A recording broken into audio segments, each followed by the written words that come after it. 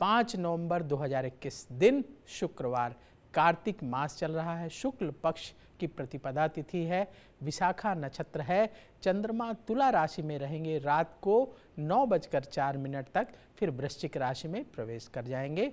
भगवान सूर्य तुला राशि में विराजमान है। विजय मुहूर्त का समय है एक बजकर चौवन मिनट से दो बजकर अड़तीस मिनट तक। विजय मुहूर्त में आप महत्वपूर्ण काम, शुभ काम कर सकते हैं।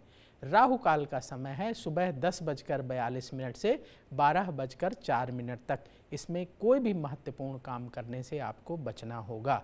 राहु काल में शुभ काम करना उचित नहीं माना जाता है। इसलिए राहु काल में कोई भी अच्छा काम, शुभ काम करना वर्जित है। अगर आपको कोई महत्वपूर्ण काम करना है तो आप विजय मुहूर्त में कर लीजिएगा, जिसका समय है एक बजकर चौवन मिनट से दो बजकर अड़तीस मिनट तक। दिशाशूल, पश्चिम दिशा की यात्रा ना करें।